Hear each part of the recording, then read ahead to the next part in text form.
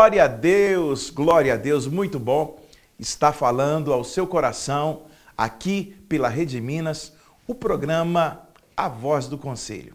Estamos é, mais uma vez convidando você para estar conosco em uma de nossas reuniões do Conselho de Pastores do Estado de Minas Gerais. Sempre na última terça-feira de cada mês, aqui no templo principal da Igreja Batista Getsemane, no bairro Dona Clara. Queremos receber você com muito carinho e traga seu amigo, sua família, para estarmos juntos em nome de Jesus. Quero trazer uma palavra de Deus ao seu coração nesta manhã, uma palavra que vai edificar a sua vida. A palavra do Senhor nos diz aqui no capítulo 3 de Tiago algo interessante. É, o Senhor diz assim, atra através das Sagradas Escrituras, através do apóstolo Tiago: meus irmãos, muitos de vós não sejam mestres, sabendo que recebemos mais duro juízo. Olha só. E o versículo 2 diz: Porque todos tropeçam em muitas coisas. Se alguém não tropeça em palavras, o tal varão é perfeito e poderoso para também refrear todo o corpo. O versículo 3 diz assim: Ora, nós pomos freios nos, nas bocas dos cavalos, para que nos obedeçam e conseguimos dirigir todo o seu corpo. O versículo 4 diz assim: Vede também as naus que, sendo tão grandes, levados de impetuosos ventos, se viram com um, um bem pequeno leme para onde quer que o, o dirija. Versículo 5 diz: Assim também a língua é um pequeno membro e gloria-se de grandes coisas. Existem pequenas coisas que podem causar grandes impactos. O texto da palavra de Deus aqui fala do, da grande nau, o navio, ou, seja, esse navio que é conduzido por um pequeno leme, que, que direciona esse navio para onde vai. A língua, ela, ela é importante, é um membro do nosso corpo, mas as palavras que saem da nossa boca, elas podem causar bênção e maldição. É o que diz esse, esse livro aqui do nosso querido pastor Jorge Linhares, que é um best-seller. É um livro que foi vendido mais de 24 milhões de exemplares. Bênção e maldição. Então a nossa boca, ela produz bênçãos e, maldição, e maldições, ok?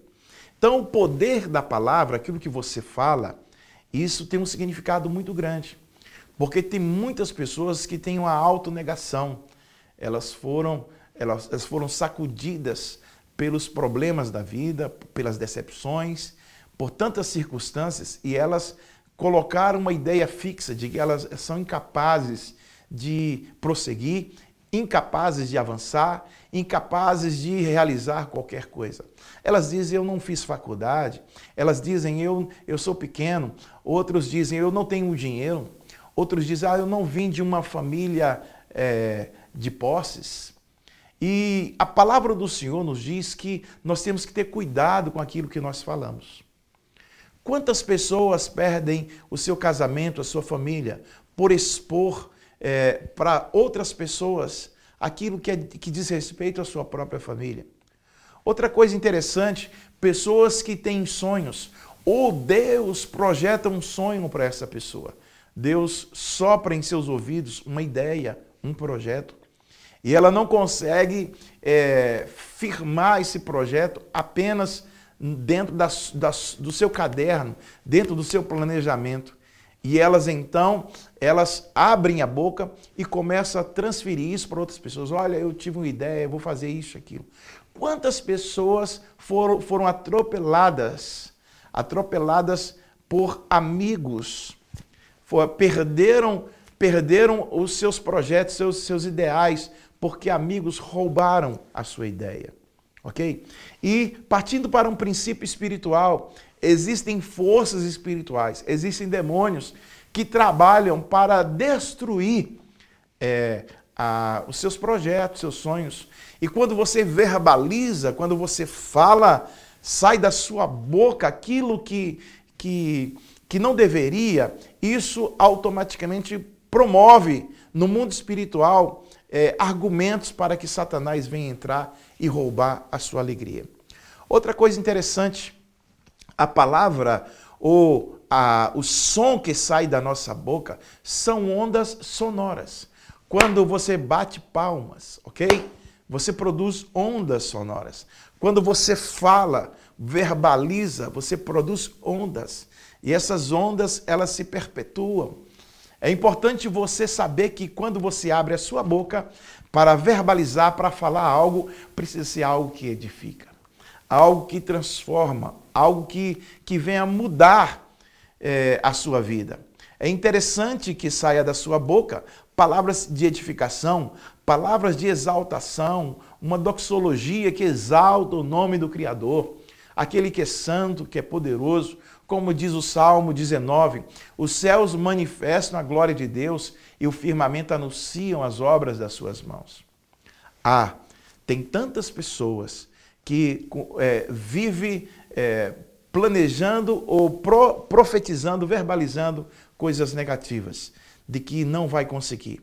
Mas eu sou boca de Deus nesse momento para dizer para você: muda isso.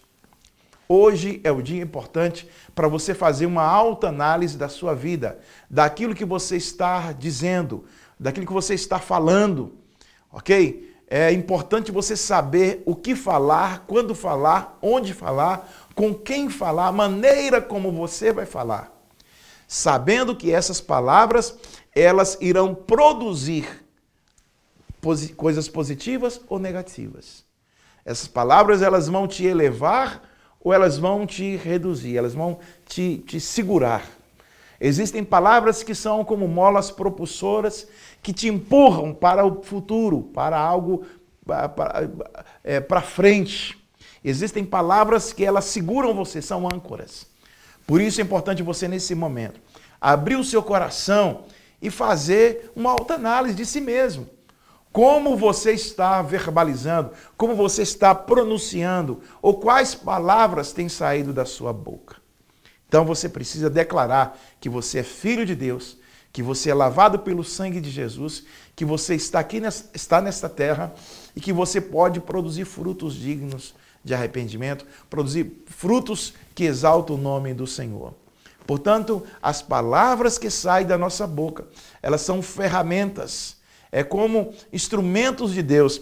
Esse outro livro do nosso pastor sênior, Jorge Linhares, ele fala sobre a maledicência. As palavras que saem da, da boca para produzir é, quebras de relacionamentos. Saem da boca da pessoa para produzir, para difamar, para, para trazer uma confusão. Neste momento, você pode abrir o seu coração e dizer: Deus, eu quero mudar. Então, essa palavra vem do coração de Deus para o seu coração para uma mudança significativa na sua vida. E é hoje. Este é o momento. Que Deus abençoe você. Vamos aí com a música linda. E eu quero voltar para orar por você com o coração em Deus. Amém?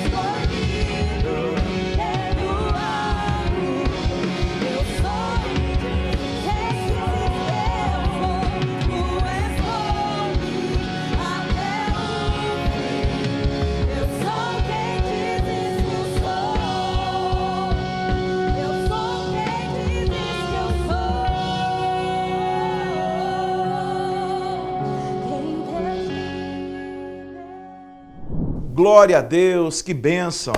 Você foi edificado? Edificado com essa música linda? Eu quero mais uma vez convidar você para estarmos juntos nas reuniões do Conselho de Pastores do Estado de Minas Gerais. Nosso presidente, nosso pastor Jorge Luiz Coelho Linhares, e sempre as reuniões acontecem no templo principal da Igreja Batista Getsemane, na rua Cassiano Campolina, 360, no bairro Dona Clara. Sempre na última terça-feira de cada mês, a partir das 8h30 da manhã, com uma, uma oração, um café maravilhoso e uma palavra edificante com um convidado especial do nosso pastor Jorge, ok? Feche teus olhos, Pai, nós abençoamos essas vidas, Deus, que oram comigo nesse momento. Que o Senhor venha visitar, Deus, fortalecer. Levanta esse que está caído, fortalece esse que está fraco. Traga a bênção para este que precisa de um milagre hoje. Essa pessoa que precisa de uma cura, precisa de uma resposta, precisa de uma bênção. Eu quero profetizar este milagre, essa unção para este homem, esta mulher, esse jovem, essa criança, este empresário, esta cidade, essa comunidade, em nome do Pai, do Filho e do Espírito Santo de Deus. Que Deus abençoe você. Shalom de Deus. Forte abraço e até a próxima.